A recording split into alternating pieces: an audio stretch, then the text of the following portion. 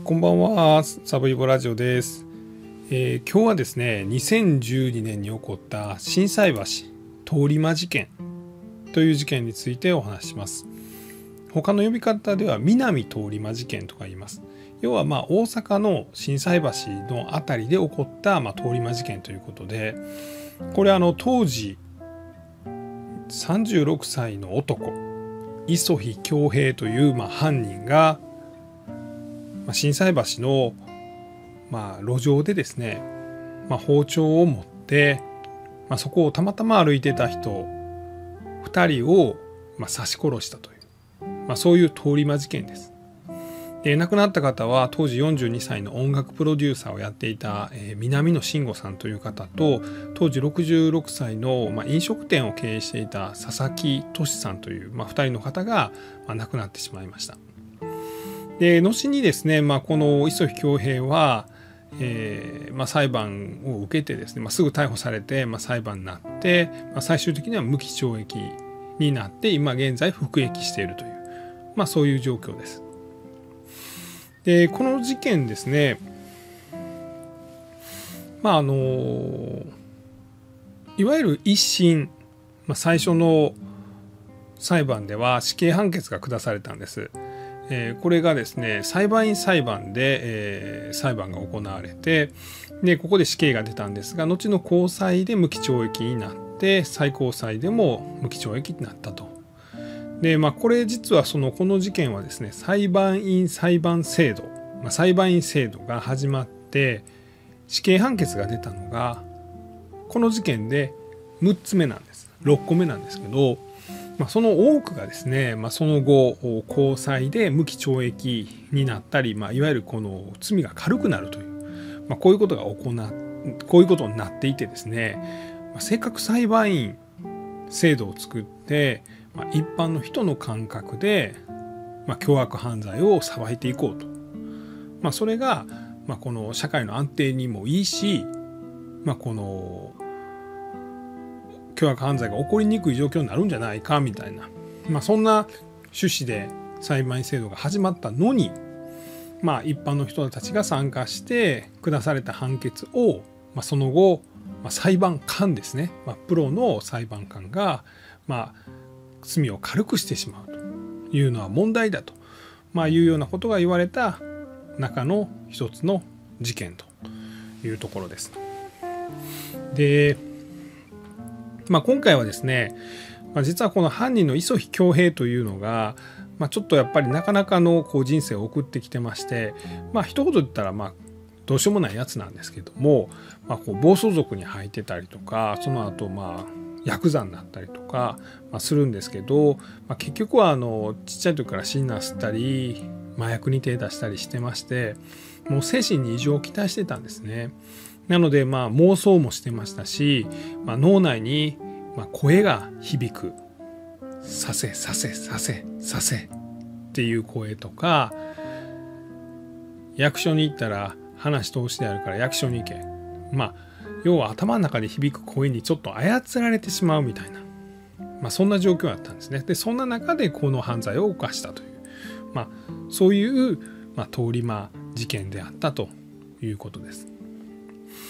でまあこの犯人の話もそうなんですが、まあ、被害者の方もですね、まあ、この南野慎吾さんという方は音楽プロデューサーで、まあ、自らあのメジャーデビューするバンドにも入ってましたし、まあ、その後、おまあ、自分でこうレーベルを、まあ、一緒に会社の人たちと作ってですね、まあ、そのライブのために、まあ、関東の方からわざわざ大阪に来てたということなんですが、まあ、こういうあの音楽をやってきた人なので、まあ、その後この事件があった時にはですね、まあ、毎年追悼ライブなんかも行われているということなんです。で、まあ、もう一個ですねあの、まあ、なのでこの事件の経緯と、まあ、その裁判でどうしてひっくり返ったのかという話あとちょっとまあ犯人の話と、まあ、時間許せば被害者の話をしていきます。であとまあもう一個この事件現場ですね、まあ、今回行ったんですけどはっと思ったんが実は結構まあ僕の思い出のある場所でして、まあ、そんな話も余裕があればできたらというふうに思っています。まずはこの事件についてです。2012年の6月です。えー、っとね、2012年はもう結構今から10年前になるんですよね。あの、スギちゃんのワイルドダルーが流行ってた頃です。あとあの、キャリーパミュパミュの、まつげまつげつけまつげまつげみたいな。めっちゃ間違えてますよ。自分で分かってますよ。まつげまつげつけまつげまつげ。多分ずっと間違えてます。まあこういう歌が流行った頃ですよね。で、この日は、あの事件があった日は2012年の6月の10日なんですけど、これ日曜日やったんです。で日曜日のお昼1時ぐらいにこの事件が起こりました。場所はですね、まあ、震災橋通り魔事件というふうに言われてるんですけど、えー、大阪の土地勘ありますか、まあ、大阪の南の方っていうと、まあ、大体あの南海電車とか地下鉄の難波駅とかがある、まあ、一番の目印っていうと、まあ、高島屋があってその前にちょっとバスターミナルみたいなのがあるというところです今もバスターミナルあんのか？もうあれなくなってんのか、まあ、とにかく高島屋がありますよね。で、高島屋のちょっと東の方に行くと、まあ、商店街が始まります。一番混んでる商店街が、恵比寿橋筋商店街ですね。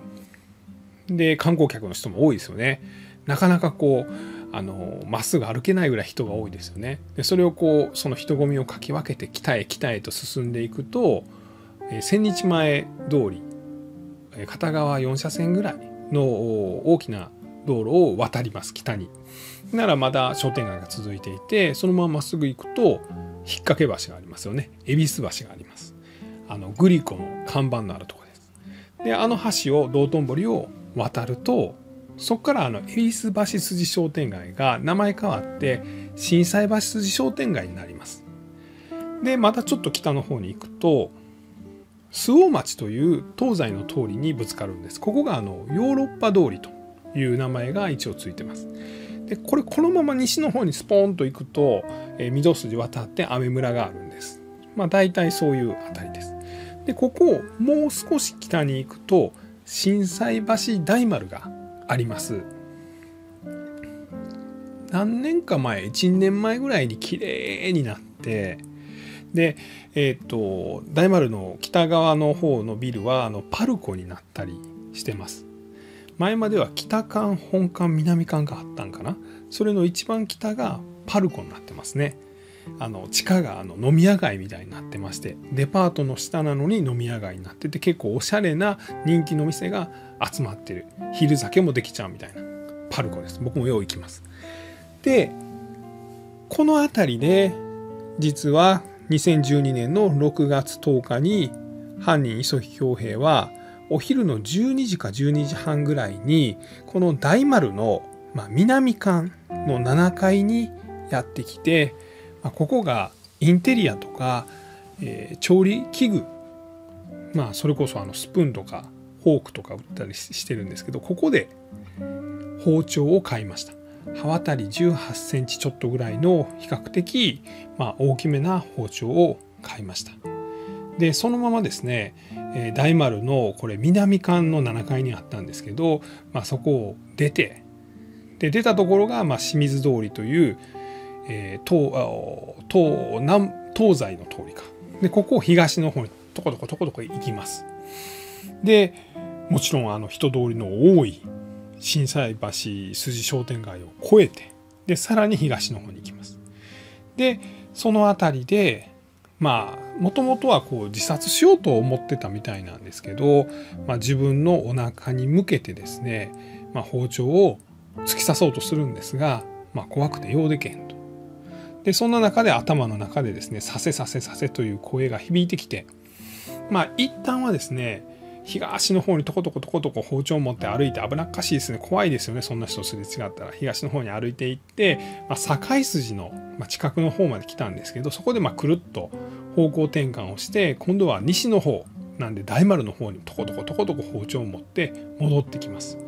で途中でリュックサックを置いて包丁を紙袋の中に入れてさらに西の方にとことことことこやってきます。でたまたま自分の左前にいた南野さん当時、42歳の南野さんを見つけて南野さんに体当たりするように包丁を持ってぶつかっていきますで南野さんと一緒に倒れてですね倒れた南野さんの上に馬乗りになって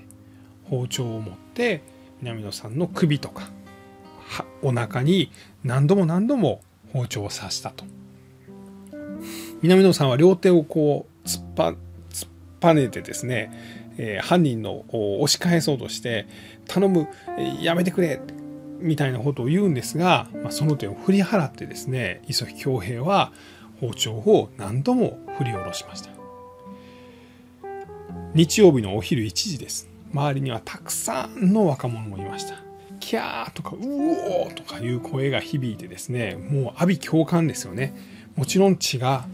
滴ってるんです南野さんから。でさらに磯日はですね犯人の磯日はその包丁を持って、えー、歩いている別の男性に向かってまあこう襲いかかっていくんですけど、まあ、男性が磯日を振り払ってなんとか逃げることができました。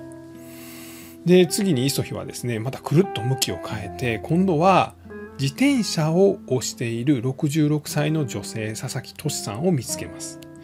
おそらくですよ。腰が抜けてたんじゃないかなと思います。普通だったらすぐに自転車にまたがってシュンと行けばいいんですけどまあもしかしたら人混みで動けなかったのか。わかんないんですが佐々木さんは自転車を押して逃げようとしてたんですけど、まあ、そこに走っていって追いついて背中を刺したり、まあ、体中を包丁でめった刺しにしました。で佐々木さんが動かなくなったのを確認してぐるっと振り返ると自分が刺していた南野さん最初に刺した男性の方ですねが倒れていたんですけど南野さんなんとか這いつくばって逃げようとしてましてそれを見つけた人がまた南野さんのとこに戻ってきて馬乗りになってまた何度もザクザクザクザク刺したと。で実はこの辺りですねすき焼きの北村という店があるんです。まあ明治時代から続いている結構すき焼きの老舗の店なんですよね。でそのちょうど前で南野さんと佐々木さんは襲われましたでこっからですね東の方境筋の方に100メーターちょっとぐらい行くと実はあの南警察署というあの大きな警察署があるんです110番通報があってすぐに警察が駆けつけました。通報があって34分後にはもう駆けつけたというふうに言われています。何やってんやお前やめろ！と警察が言うと磯木恭平は持っていた包丁をパッと離して警察の言うがままうつ伏せになってすぐに手錠をかけられたということです。磯木が手を離した包丁は南野さんの体に刺さったままになっていたと、まあ、いうことです。まあ、これがあの事件の概要なんです。でお二人南野さんと佐々木さんはすぐに病院に運ばれたんですが、まあ、失血して、まあ、亡くなってしまったということです。じゃあこの犯人ですねこの磯日恭平36歳が、まあ、なんでこんなことになったんやと、まあ、いうところをちょっと見ていこうと思います。生まれたのは栃木県の那須塩原市やったということなんですけど3人兄弟の末っ子なんですが、まあ、上のお兄さんはもう10歳以上離れてるんで、まあ、実質一人っ子みたいな感じで育ったということです。でまあお母さんがま優しい方でですね、まあ、お母さんに甘えてたんですけどお母さんがま亡くなっちゃうんですね。で父親と2人で暮らすようになります。でサッカー部なんかに入ってまして結構活躍してたそうなんですけど、まあ、中学校の時にぐれました、えー、生まれたのが1975年、まあ、ほとんど僕も同世代です、まあ、サッカー部の時は良かったんですけどまあ悪い先輩と遊ぶようになったんでしょうか。まあこう盗んだバイクを改造したりとかシンナー吸ったりとかまあそんな生活になります。で高校には行かず暴走族に入ります。でこの暴走族が、えスペクターっていう暴走族だそうで、ま東京の方では結構有名でいろんなとこにスペクターなんとか支部っていうのがありまして、まあ、その一つの支部の、まあ、総長になったと喧嘩強かったですねということだそうです。で、まあ、その頃から、まあ、この薬物なんかに手を出すようになって、まあ、背中にも入れ墨かなんかも入れてたみたいなんですね。でやがて、えー、ヤクザになって、まあ、そこでまあまた覚醒剤を扱うようになってさらに自分が覚醒剤にはまっていくと。で、まあ、結婚結婚というかまあその子供もいるんですね。えっ、と同女の人と同居してたんがえっ、と二十歳前後で子供もいたということなんですけどまあこう暴走族の時もそうですしヤクザの時もそうですし同棲していた女性に対してもそうなんですけど、まあ、とにかくこいつはもう何て言うんですかね嫌なやつ容赦のないやつやったんですよね。まあ、例えばその暴走族時代はその後輩から慕われるタイプじゃなかったと後輩からでも平気に恐喝する、まあ、とにかく怖い先輩やった関わりたくない先輩やったと。まあ、だからみんな言うことを聞かざるを得なくなって、まあ、その総長まではなったんですけれども、まあ、それでも人望もなかったということなんですね。で一緒に暮らしてた彼女さん、まあ、あの子供をできてるパートナーなんですけどにも、ま、ずっと暴力を振るっていたので、まあ、結婚もしたみたいなんですけど、まあ、離婚したということです。でしばらくはこうお父さんと2人で暮らして、まあ、内装業をやってみたりとか、まあ、そんなこともしてて真面目に働こうとしていた時期もあったのはあったんです。まあでも結局薬物に手を出してしまってで喧嘩をしたりとか、まあ、そんなことで刑務所に出たり入ったり。でこの頃29歳20代後半ぐらいには幻聴が聞こえるようになったそうです。えー、自分はとある大きな暴力団の、まあ、組長の甥っ子であると。だから自分のおじさんが、まあ、巨大なあヤクザの、まあ、トップだと。でその人が日本を支配している。っていうような妄想を抱くようになってこれ実はもうあの事件を起こしたこれ心斎橋で人2人殺した後もこの妄想を抱き続けたそうで、まあ、これがですねそのどこどこ行けと。市役所行ってこいと。お前仕事ないやと。ほな、おじさんがもう話通してると。とにかく行けばいいというような妄想に駆られて市役所に行くんです、この石崎恭平は。ほんで、あの、うちのおじが話通してるらしいやん。案内せよって言うんですよね。ほんなもちろん市役所の人は、え、どなたですか？みたいな。いや、磯日やって。お前聞いてんねやろ。おじさんに。えー、いや、聞いてないです。はよ出さんかいボコというので市役所のガードマンさんを殴ってしまって、まあ、これでまた傷害みたいなことになります。でまたお父さんと2人で暮らしている、まあ、そのマンションかアパートの部屋でもですね、まあ、下の階に行けとまいうような妄想が、まあ、自分のこの幻聴が聞こえてですね声に言われるがままに下の階に行って下の階の住人とトラブルになる。ほんならもちろん住人は通報する。で通報して警察が家調べたら覚醒剤がある。まあ、こんなんで何回も刑務所を出たり入ったりしてるうちに年がま35歳36歳になったということです。で、まあ、この頃はもう刑務所でもですね、まあ、いわゆるま精神病になってましてですね、まあ、あの向精神薬というのを服用してました。で、その状態で出所します。まあ、この状態で出所してんやったら、もうなんかこう、あの、強制で入らなあかん施設に入れてくれよ、国の仕組みでと思うんですけどそうはならないんですよね。で家族を頼って、まあ、実は年の離れたお兄さんらに仕事紹介してくれみたいなことを言っていや無理やわって言われたりとか、まあ、あと前働いてた内装業の会社に、まあ、仕事紹介してくださいって言いに行っていやもううちは無理やわ他のとこ紹介するけどそこでよかったらやれへん、まあ、他のとこやったら嫌ですみたいな、まあ、そんなこともあって。まあ、実は知り合った刑務所で知り合った人から、まあ、この困ったらおいでということで言われててそれで大阪にやってきたと。でこれ大阪にやってきたのが事件の前の日の6月の9日です。でこの刑務所で知り合った男っていうのはまあおそらくヤクザです。で会って話をしていたら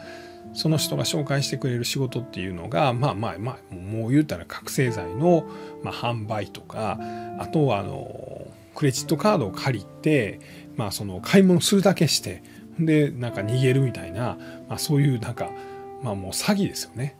でも仕事とは呼べないもんだったので、まあ、この磯日も、まあ、この仕事はできへんと思っていたそうです。でこの頃にはもうあの自分は自殺しようと思ってたということででそれかまあその実家のある栃木県の方に帰ろうか自殺しようかで何だったらもう人を殺してやろうか、まあ、みたいなことを思ってたそうです。で事件が起こる6月10日、まあ、大阪の友達とはもう別れてですね、まあ、一人心斎橋にやってきて大丸の南館の7階の調理器具売り場で刃渡り18センチの包丁を買って、まあ、心斎橋の町で暴れ回って人を刺したと、まあ、そういうことです。むちゃくちゃやなと思うんですけどもうほんまにやめてほしいなとは思います。でこの裁判がですね行われたんですけれども、えー、裁判が一番最初に行われたのがもう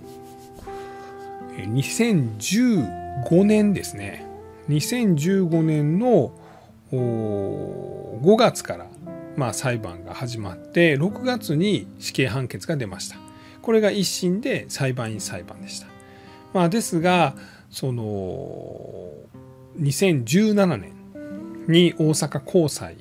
で2審が行われたんですが、まあ、これが1審判決を破棄して、まあ、無期懲役を言い渡す内容だったと。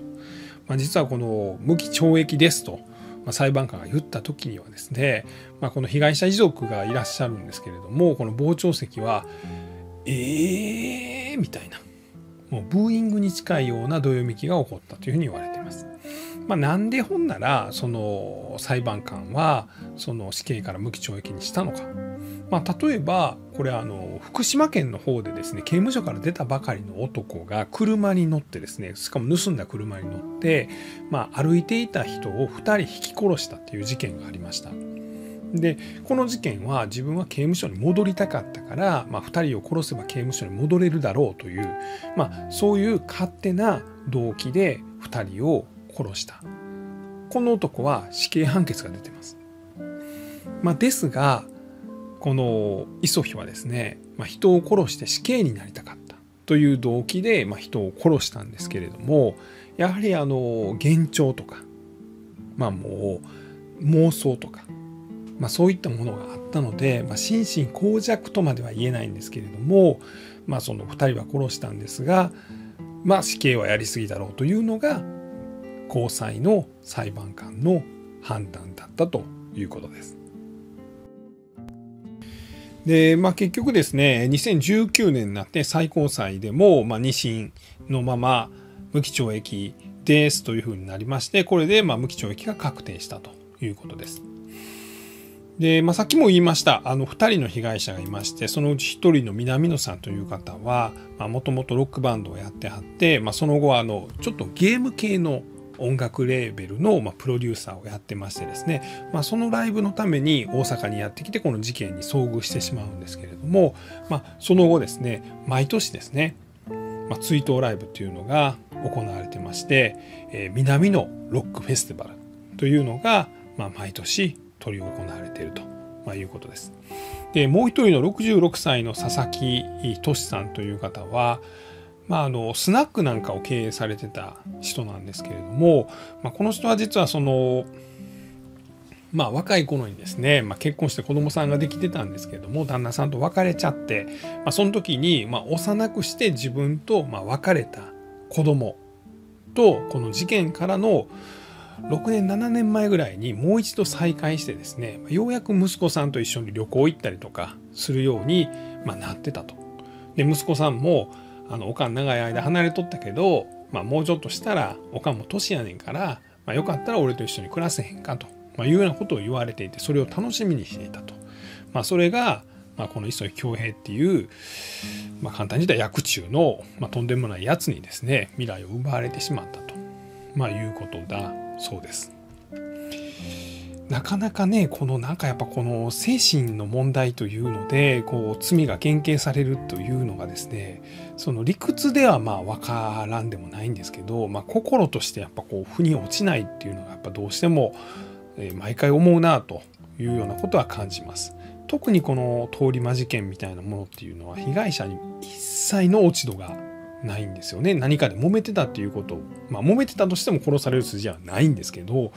まあ、さらに一切ないので、まあ、どうしてもその遺族としてはなかなかこ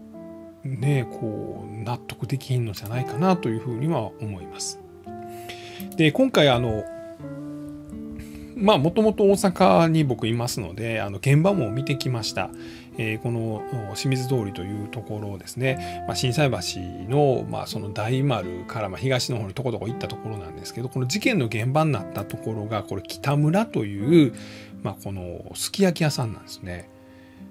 まあ、要はこう明治何年にできたみたいなところで何年言ってたかな、まあ、ええとこなんですよほんまに。で僕これ行ったことありましてですね実はあの前の会社やったかな？の時になんかこう仕事でなんか頑張ったかなんかで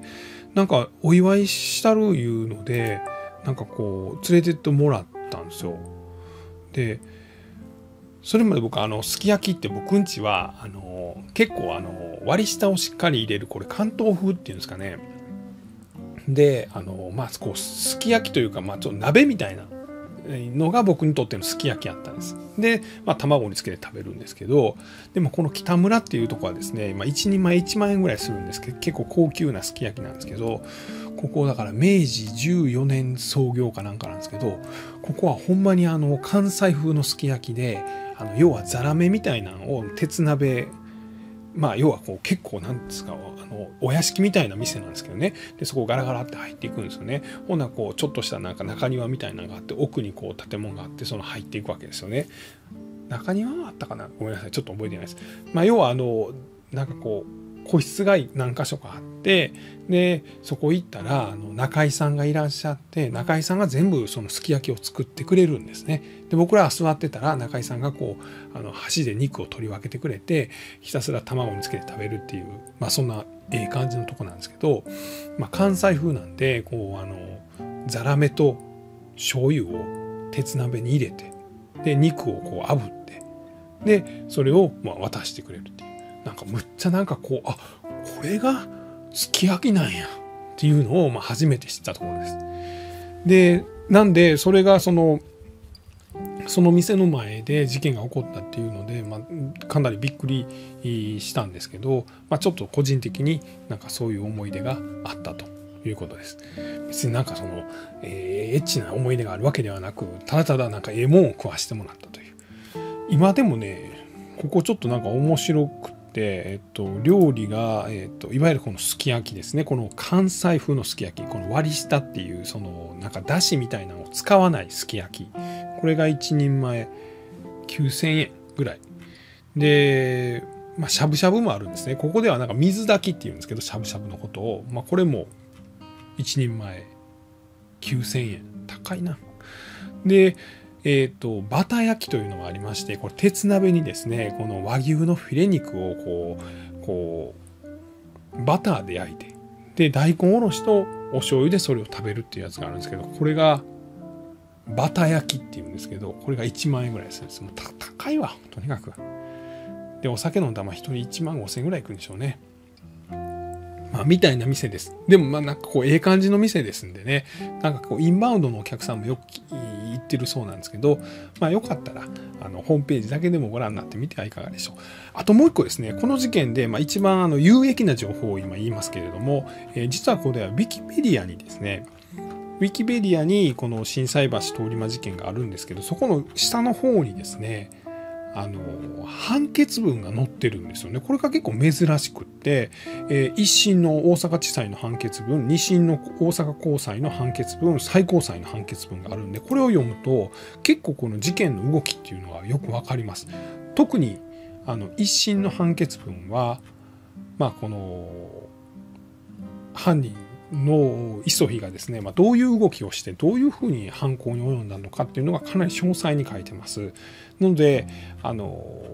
個人名とかねあの大丸とかそんなんは書いてないんですけどもあの結構詳しく書いてるんで興味のある方はご覧になってみてはいかがでしょうか。えー、今日はですね2012年の6月に起こった心斎橋通り魔事件についてお話をさせていただきました。え最後まで聞いていただきましてありがとうございました。あそうだ最後にあの皆様に感謝を申し上げないといけないことがありましてですね。実はあの久しぶりにあのエゴサーチをしました。ツイッターで。そしたらあの